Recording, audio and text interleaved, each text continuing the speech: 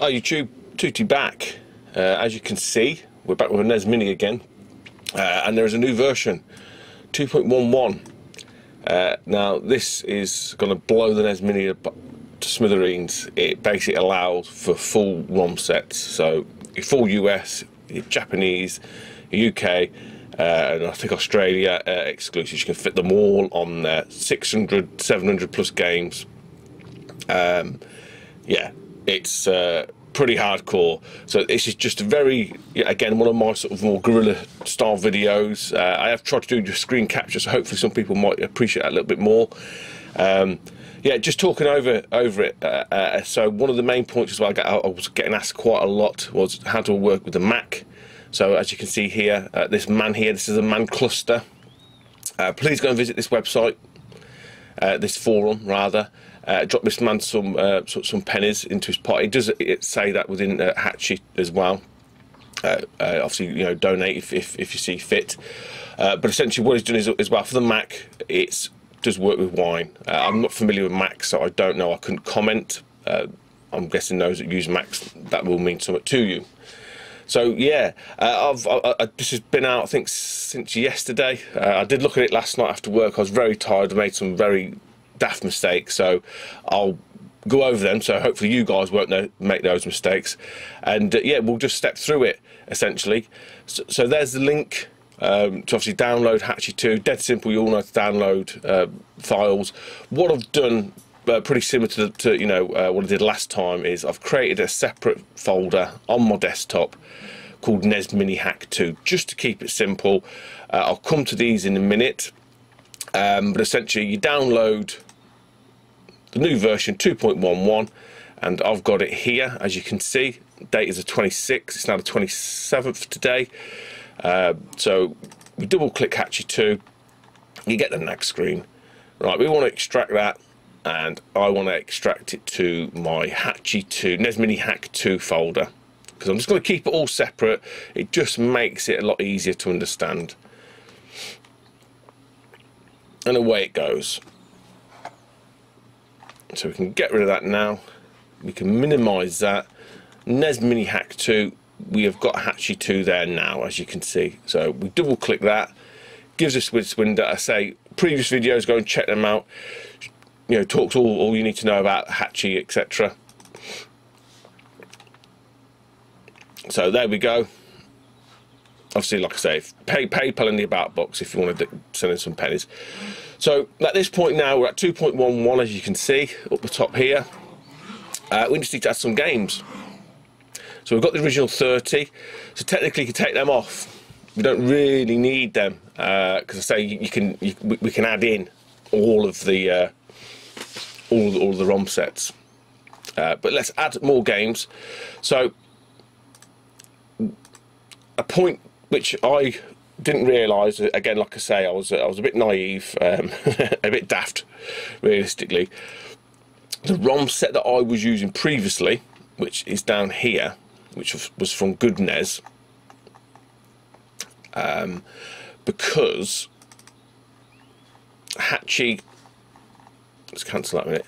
Hakchi 2.11 now supports zip files.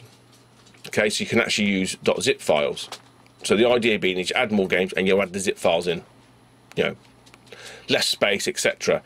Um, so with the set that I had from here, and I'll use 10 yard fight as an example. So 10 yard fight there, it's a zip file, you know, 19k, not very big, but within it, there are multiple revisions. Now it's those revisions that did me a disservice basically, and I, and I completely dropped a clanger because what uh, it does it even though Hakchi sees it as one file, ten yard fight. It obviously it imports all of those revisions, and some some games have multiple, more even more revisions than that.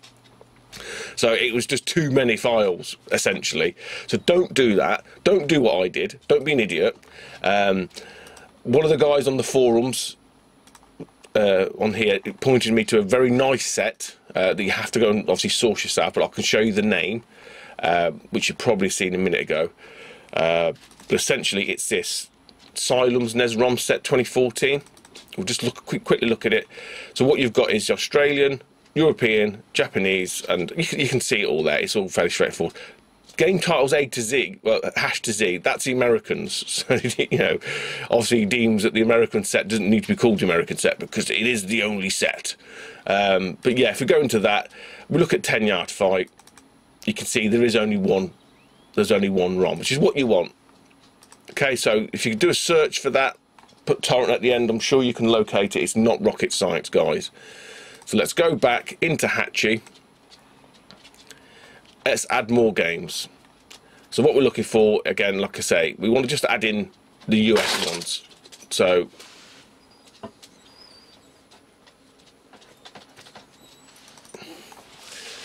and what we do here, uh, it's a nice feature. You click it there, you hold the shift key down on your keyboard, go all the way to the bottom, and you click that one, and then we do open. So it'll give you some errors because obviously don't forget those ROM sets aren't perfect so there may be the odd one you might be missing so you may have to source that um, click OK past that any of these ones I would probably say no to at the minute uh, some of the mappers have been fixed not all so all we do we go through any ones that come up like that also what cluster is doing is put in uh, patch files for known games so you might as well add them in so dead simple, invalid NES, you're okay. There's nothing you can do with that anyway. Anyone that says you want to patch it, anyone that says you want to add in one that doesn't support, I would probably just say no, because you're just adding in trash at the minute for no reason. So that's going to run across um, for as long as it takes. Um,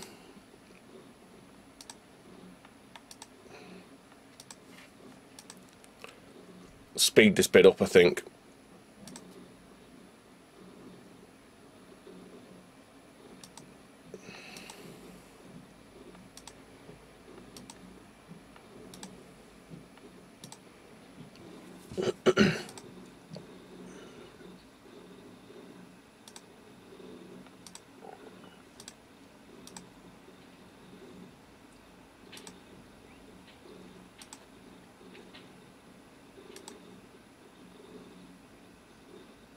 And there we go. So it's now added all of those games in as you can see. 687 um, another nice feature a couple of nice features within this now. Within the settings uh, maximum games per page. The default's 30 so you see 30 30 games per page. You can increase that because don't forget we've got 697 there. That's that's, that's quite a lot. Um, I'll probably stick about 50 I think 50 is enough uh, without it getting too much um, uh, but again, I'll, I'll talk about what it looks like uh, when we get there. Uh, again, looking through these, you can change to a Famicom Mini or NES Mini. There's other bits. There's controller hacks, which is quite nice. You can enable auto fire, up A, B, and start on a second controller. Because for the obviously, yeah, the Famicom doesn't have a start button. Play two, reset, select reset button combination. You can change that, set it to how you want. So at the minute it's down, select A and B. Um, takes you back to different games. Um, what else was I going to talk about? There's something else I was going to mention up here. Uh, oh, that's it. The GUI hacks. So you can actually disable the menu music if you want, and the thumbnails are what scrolls across the bottom. So you can remove them as well if, if, if, if you want to. I don't really mind the music, to be honest, too much. It doesn't really bother me. Uh, but up into file, download covers for all games. So what this will do now, this will go away. It will trawl Google using a think like, you know, um, I feel lucky and it will try and obviously propagate each of these to a cover. So we'll do that, we'll leave it running. There's not a great deal we can do here at this point other than just leave it running.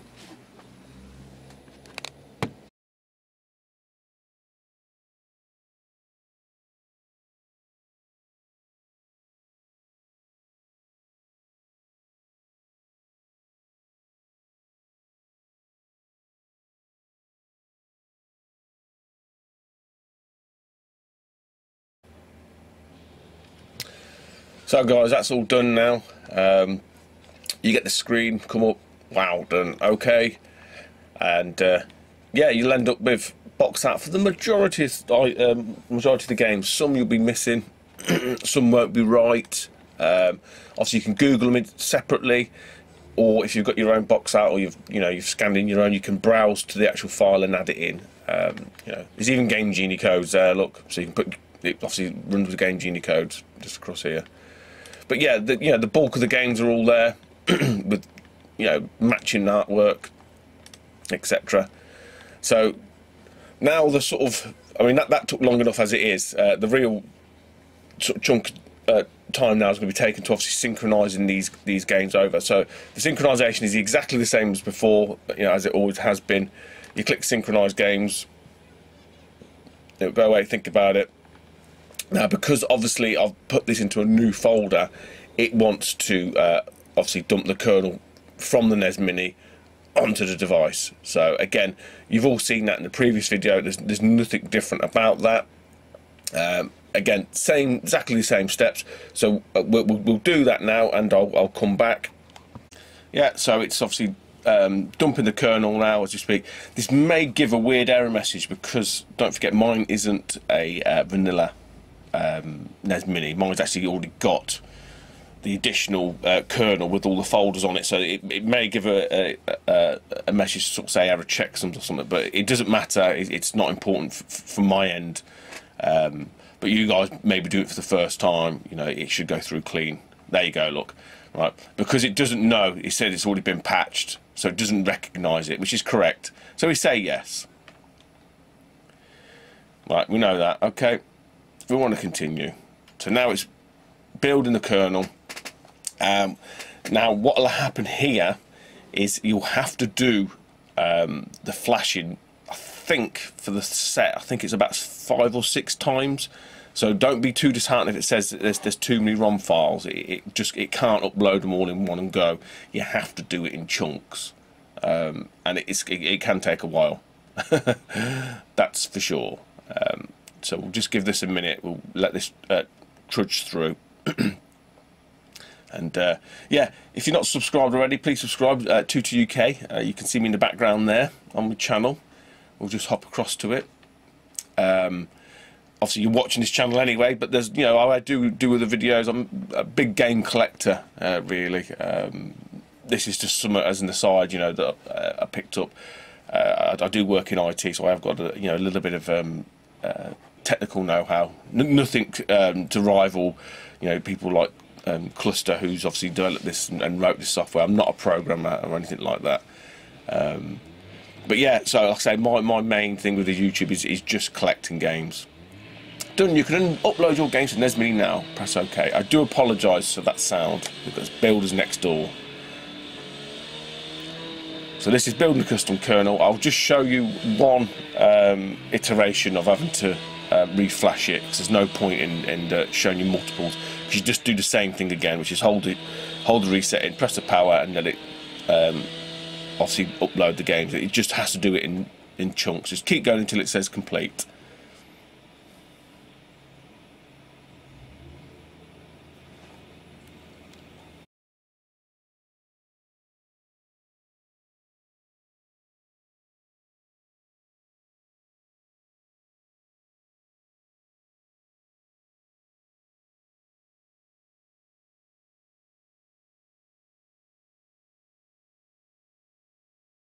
can see uh, there are too many ROMs to transfer all, um, at once. Please wait until the power LED goes out and press OK to follow instructions. So we wait for the power LED to go out.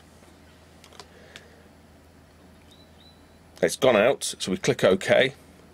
So as you can see on the screen now, it's basically saying to us, make sure the power button has been switched off. So what we have to do is switch the power button off again, and we're just repeating exactly the same um, set of instructions, which is hold, reset, hold reset in, press the power, wait for it to detect it again, and then it will carry on. So you see it's carry on.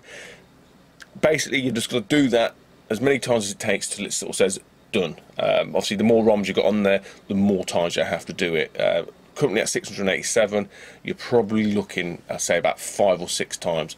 So I'm not going to sit here and do this five or six times. There's no point uh, in doing this. So we'll skip ahead until such point as it's finished. So as you can see guys, come to the end now. Um, just took a while, probably you know half 20 minutes ish. So that says about five, five or so times uh, for it to fully upload all of those games. Obviously, the more you add, the longer it takes. But yeah, just stick with it. It's keep rinse and repeating that same process just until you get this screen which is coming up now, hopefully.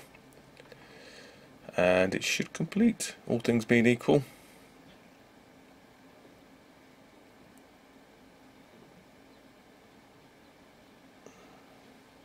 and done. There we go. Wait until the power LED goes out and restart your NES Mini. So same procedure, it's gone out, job done. So all we do now is, uh, obviously I can't screen capture from the NES Mini, I'll have to point the camera at the screen and uh, we'll have a look, see what it looks like.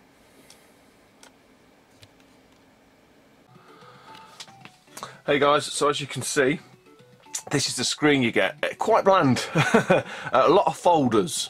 Um, so essentially what it's done, it's, it's grouped them all uh, alphabetically. So as you can see, it's 10 yard fight dash Barker Bill. So that's like hash to bees. So if you press A, it will take you into that subfolder. So it's probably like the best way to describe it is probably like a NES Mini within a NES Mini each folder. But as you can see across the bottom, here's my finger. You've got all your um, all your thumbnails, and you've got you know the majority of all of the um, box art. So that arrow there will take you back to the sort of A to Z folder list. Uh, like I say, this runs from A's to B's, I think it said, didn't it? Um, so yeah, can, they're all in there. All right, so if we go back, it jumps us back up to the, the sort of uh, uh, directory.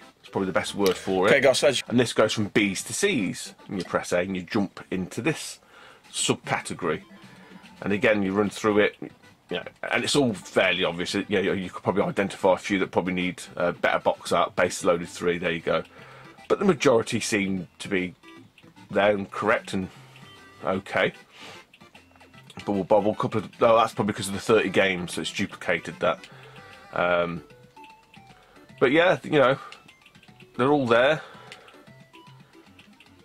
Let's just put Batman on just for just to show they are working and not just thumbnails, not doing anything. Yeah.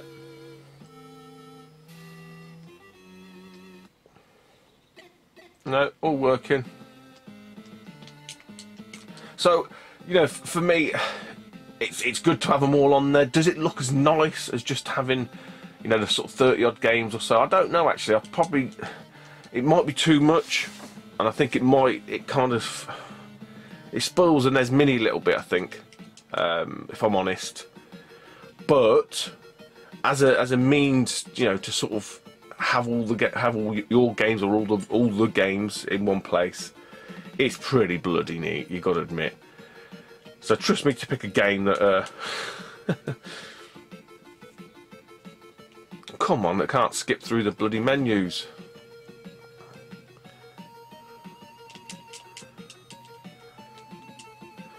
This is a long intro. Let's see if we can get back out. Yeah, so if you do down, select A and B, drops you back out to the menu. And yeah, you can put stuff in the safe slots, look. Yeah. Let's try and get something that bloody works. So, iconic Blaster Master, you all know this one. Absolutely outstanding uh, audio.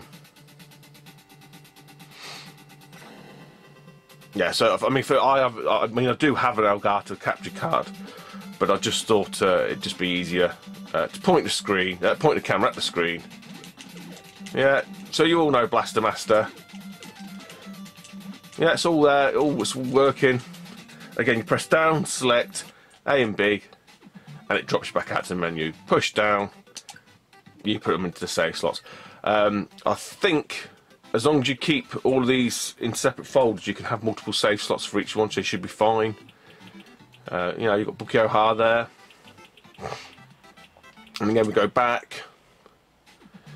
And it just, you know, all the way up to W's Z's. We'll just drop into W to Z to just give you an idea. There you go. Urban Champion, Wrecking Crew, Wrestling. You can see it all. Devious. So yeah, you can now have all the NES library on the Famicom Mini. So you can add in the exclusives, uh, you know, for, for each region as you see fit. Or you can tailor it back. You know, there's probably a lot on here that you, you wouldn't want, and it just clutters it all up. You know, probably like some of the baseball games and and whatnot, or American football games. You know, you might not want them. So you can, you know, it, it just expands that ability. But I think there's that always that worry, not that worry. Uh, there's always that pull that you can just put everything on there, so you do. Um, yeah, like I say, don't be like me and be an idiot and try and uh, put zip files with multiple ROMs in it because they won't work. But yeah, so there we go, guys. I'm not going to um, stay too long showing you games because you can all do this yourselves.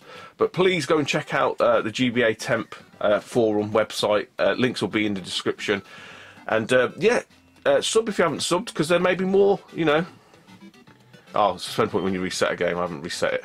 I've just hacked out, dropped, dropped out of it. Yes, yeah, so if you do, if you do go back out and do that, it won't allow you to save it. Um, but yeah, if you're not subscribed, please subscribe. You know, because there may be other videos that might interest you. I say I'm a big collector. I have got a, a large NES uh, physical collection, anyway, uh, among other uh, collections. Full set uh, Master System, near enough a, a, full set GameCube, nearly a full uh, full set um, N64. But yeah, so like, comment, subscribe, and all that uh, jazz. And I'll see you next time, YouTube. Take it easy. Bye bye.